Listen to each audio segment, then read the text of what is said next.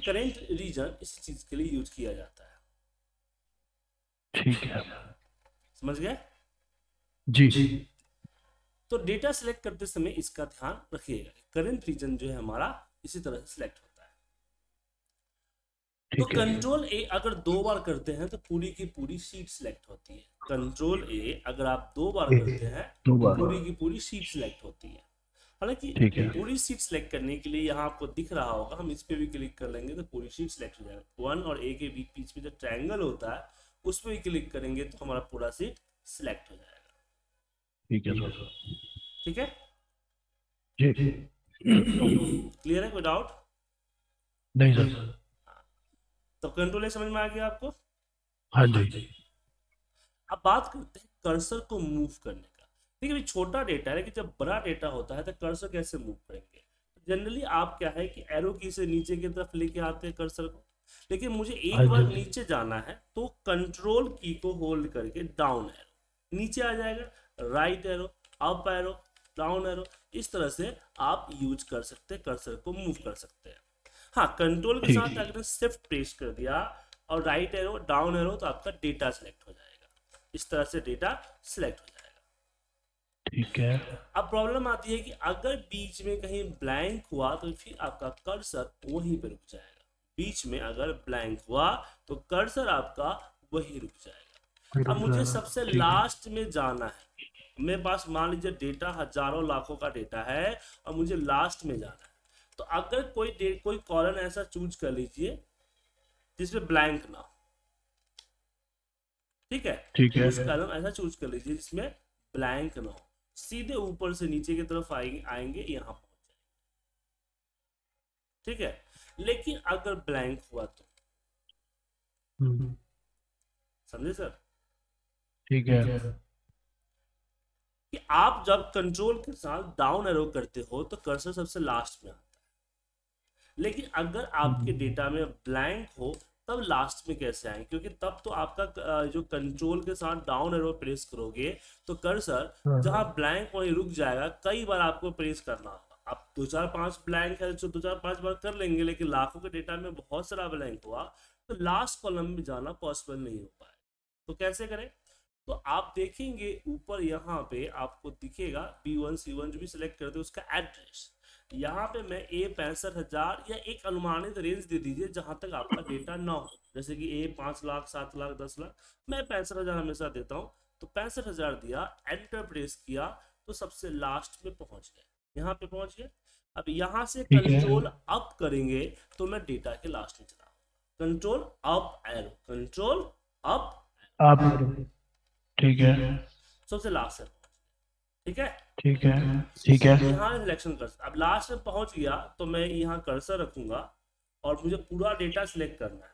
तो आप कीबोर्ड में देखिए होम का एक बटन होगा।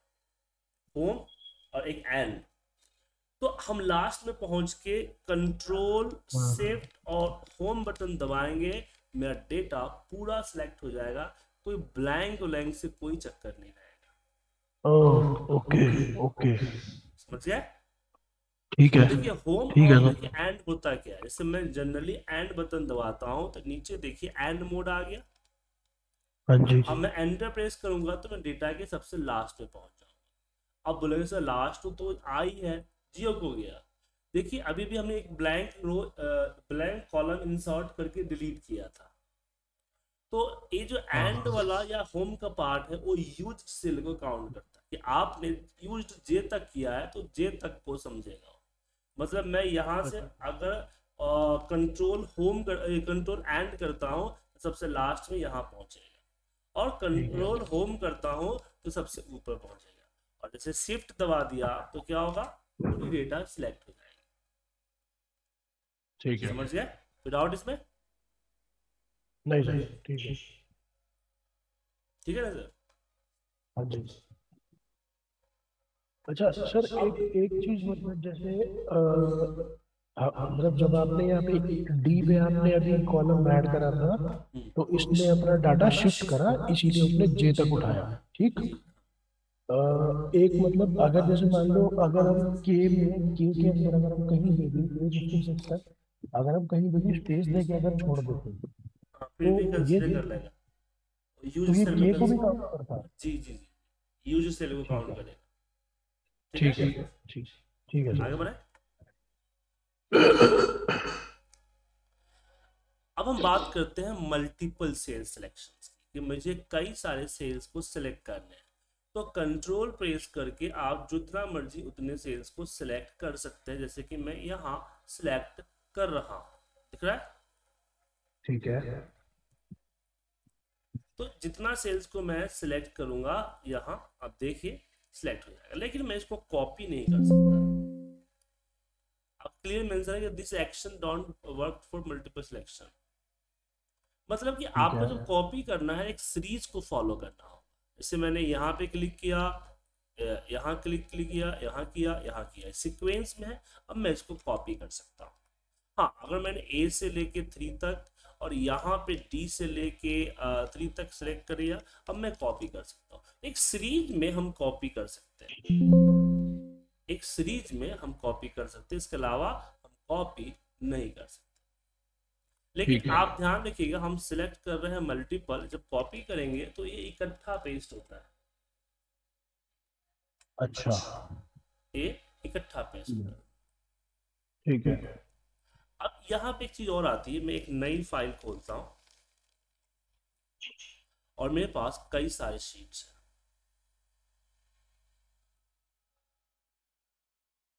ठीक है? तो मैंने यहाँ पे कई प्लस का साइन पे क्लिक करके कई सारे शीट को इंसर्ट कर दिया। अब मैं चाहता हूँ कि मैं सीट वन पे क्लिक करूँ शिफ्ट और मैं सारे शीट्स के ऊपर कुछ टाइप करना चाहता तो जनरली आप क्या करते हैं कि एक सीट पे टाइप करते हैं फिर copy paste copy paste copy paste करते हैं। यह एक तरीका है कि पहले सीट पे जाएँ शिफ्ट को होल्ड करें सबसे लास्ट वाले सीट पे क्लिक करें। आपका पूरा का पूरा सीट सेलेक्ट हो जाएगा ऊपर में फ़ाइल के नेम के पास ग्रुप आ जाएगा। अब मैं यहाँ पे कुछ टाइप करता हूँ। मैंने यहाँ दिया टुडे और आज का डेट डाल दिया। अब देखेंगे कि जितने भी सीट्स हैं सबके अंदर ये आज का डेट डल गई सेम लोकेशन पे वो भी एक ही बार में। हाँ इसमें अब मैं कंट्रोल के शिफ्ट के जगह पे कंट्रोल यूज़ करता हूँ तो कुछ सिलेक्टेड शीट पे वर्क होता है। जी हाँ कुछ सिलेक्टेड शीट पे इसमें टाइम डाल रहा हूँ तो टाइम सब पे वर्क नहीं करेगा कुछ सिलेक्टेड शीट पे ही वर्क करेगा जो जो मैंने सिलेक्ट किया हुआ है। देखिए सीट फोर पे वर्क नहीं करेगा सीट फाइव पे किया क्योंकि सीट फाइव को हमने सिलेक्ट किया था। तो मल्टीपल सेल सिलेक्शन सिर्फ़ सीट में ही नहीं फ़ाइल में भी होता है। ठीक है। क्लियर है? ठीक है। कोई डाउट इसमें? नहीं। अब यहाँ पे हम क्वेश्चन करते हैं अ, कि हमने बहुत सारे अभी कुछ शॉर्टकट्स के बारे में आपके साथ डिस्कस किया। लेकिन शॉर्टकट्स की लिस्ट कैसे मिलेगी मुझे?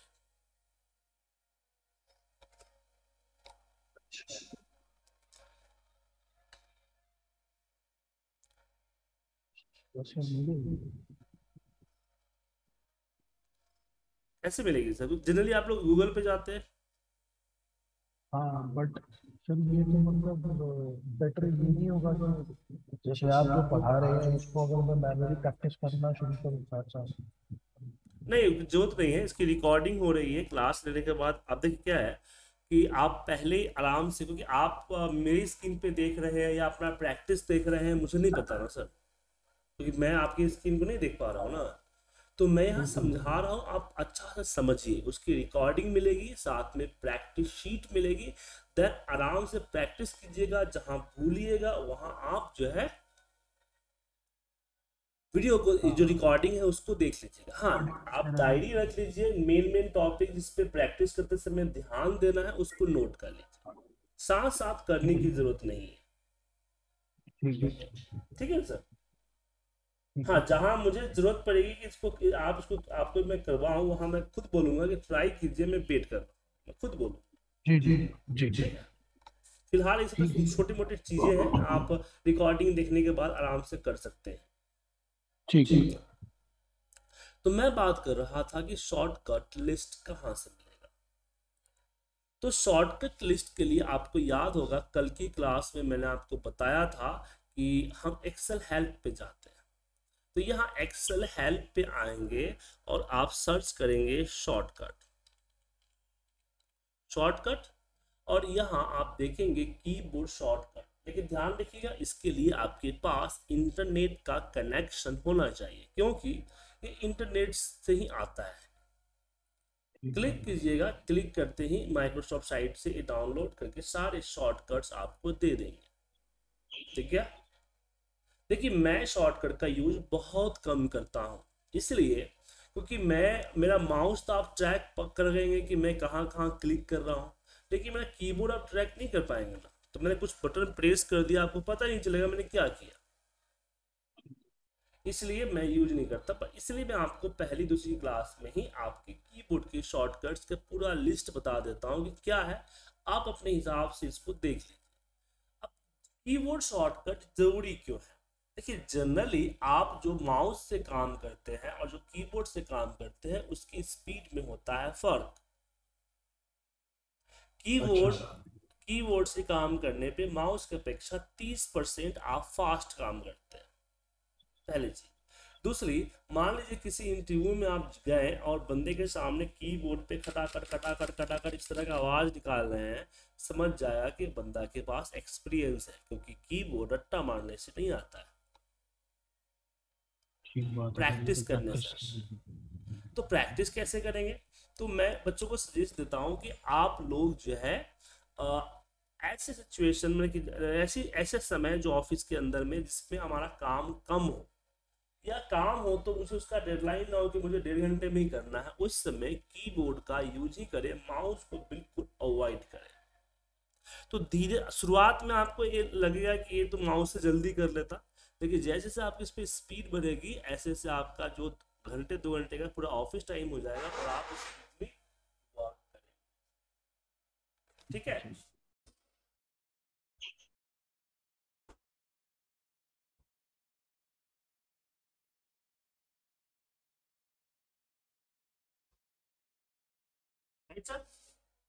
जी, बिल्कुल।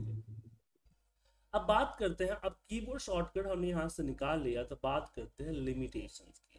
क्योंकि तो मेरा मानना है अगर हम कोई चीज़ सीख रहे हैं यूज़ कर रहे हैं तो उसकी लिमिटेशन हमें पता होनी चाहिए। उसकी क्या लिमिटेशन है?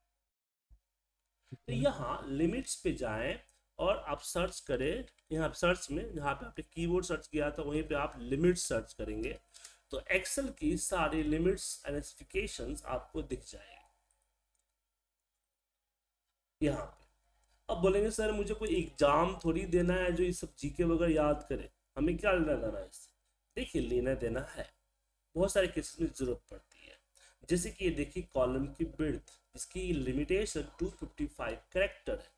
मान लीजिए आप आगे चल के, आप मैनुअली अगर आप मान लीजिए किसी कॉलम को बड़ा कर रहे हैं तो कितना करेक्टर है, उससे हमें कोई लेना देना नहीं हम खींचेंगे, जितना बड़ा होगा, बड़ा हो जाएगा। क्या?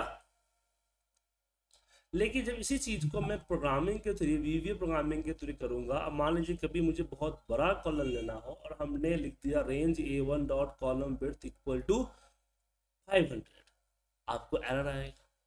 अब एरर आएगा तो एरर समझ नहीं पाएँगे क्यों? क्योंकि कॉलम की लिमिटेशन 255 करेक्टर है। लेकिन इसके बारे में अगर आपको आइडिया होगा तो आप क्या करेंगे?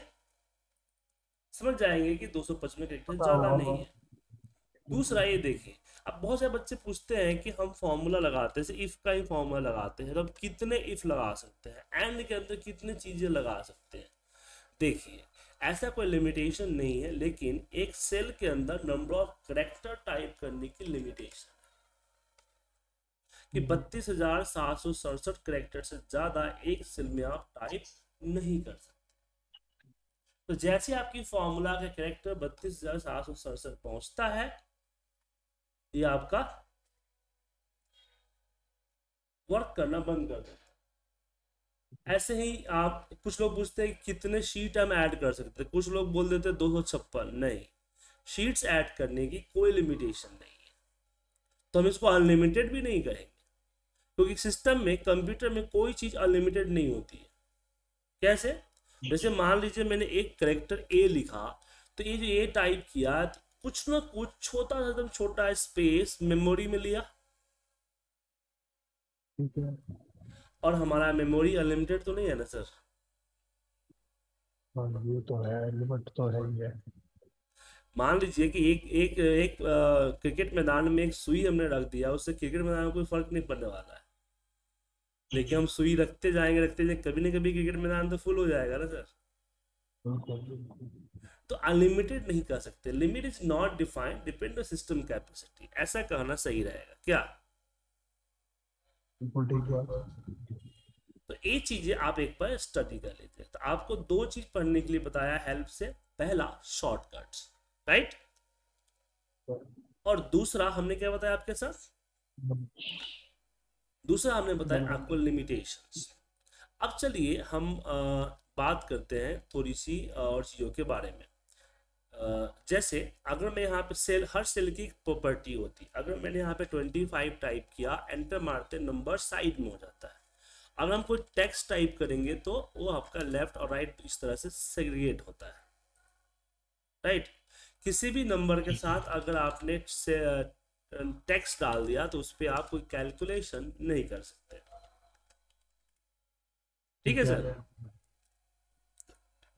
डेट जब आप डालिएगा तो डेट डालने से पहले अपना सिस्टम डेट चेक कीजिए। जैसे मेरा डेट है डेट मंथ और ईयर है। तो मैं आज का डेट डालना है तो तीस स्लैश नाइन डालूँगा एंटर मारूँगा डेट आ जाएगा। अब आपका सिस्टम हो सकता है कि M M D D Y Y हो तो आपको नाइन स्लैश थर्टी डालना हो। तो आप चेक कर लीजिएगा, उसी हिसाब से डालिएगा। ठीक है? अब आपको हम आपको प्रैक्टिस शीट आपको भेज देते हैं कि प्रैक्टिस शीट क्या होता है? प्रैक्टिस शीट क्या क्या प्रैक्टिस करना है आप ठीक है? देखिए आपको डेली तो मैं नहीं कहूँगा कि आपको हम डेली प्रैक्टिस शीट देंगे लेकिन हाँ जिस समय मुझे लगेगा कि हाँ आपको प्रैक्टिस शीट की ज़रूरत है उस समय आपको प्रैक्टिस शीट दे देंगे। कुछ ऐसे थ्योरिकल क्लासेस होती है उसकी प्रैक्टिस शीट देने की ज़रूरत नहीं पड़ती। हाँ उसके इसमें आर्टिकल वगैरह हम दे देते हैं। तो ये प्रैक्टिस शीट है। सबसे पहले मैंने यहाँ पे एक डेटा दिया है और यहाँ पे सिलेक्शन के बहुत सारे शॉर्टकट्स दिए हैं जो आप यूज़ कर सकते हैं राइट टाइपिंग के कुछ नियम है जैसे कि आप जब भी हम कोई नंबर डालते हैं तो डिफ़ॉल्ट यहाँ आता है टेक्स्ट आपका डिफ़ॉल्ट राइट में आता है। हम नंबर को सिंगल कोड लगा के टेक्स्ट में लिख सकते हैं ठीक है ना? और ये जो आपका नंबर आता है आप बताता है कि नंबर स्टोरेज है टेक्स्ट किसी भी टेक्स्ट वैल्यू पे हम नंबर देख सकते हैं number plus text equal to no to calculation कोई कैलकुलेशन नहीं कर सकते। ठीक है ना? अब जैसे कि आप कुछ लोग बोलते हैं कि इसमें कैलकुलेशन कैसे हो रहा है? तो बेसिकली इसमें कस्टम फॉर्मेटिंग अप्लाई किया गया है जो कि आर एस अलग से डाला गया है यहाँ देखिए। इसलिए इस पर हम कैलकुलेशन कर रहे हैं क्योंकि दिख रहा है ए टेक्स्ट लेकिन एक्चुअली में क्या है? ये है नंबर ठीक है? डेट का फॉर्मेट अपने हिसाब से चेक कर सकते हैं। राइट फॉर्मूला के बारे में हम आपको अगली क्लास में डिस्कस करेंगे तो फ़िलहाल इसको छोड़ दीजिए। उसके बाद प्रैक्टिस वन में आपको सारे शॉर्टकट यहाँ अप्लाई करने हैं और आपको एक जो है कैश मेमो आपको बनाना है। सेम टू सेम ठीक है? हेलो हाँ जी हाँ जी ठीक है ठीक है? तो ये फ़ाइल मैं आपको भेज देता हूँ। व्हाट्सएप कर दूँ या मेल कर दूँ? मेरे व्हाट्सएप सर। मेरी कर दीजिए सर। ठीक है तो अपनी ईमेल आईडी मुझे फॉरवर्ड कीजिए क्योंकि ईमेल आईडी नहीं है मेरे पास। मैं आपको आ, मैं भेज रहा हूँ। ठीक है और आज की रिकॉर्डिंग आपको मिली गई।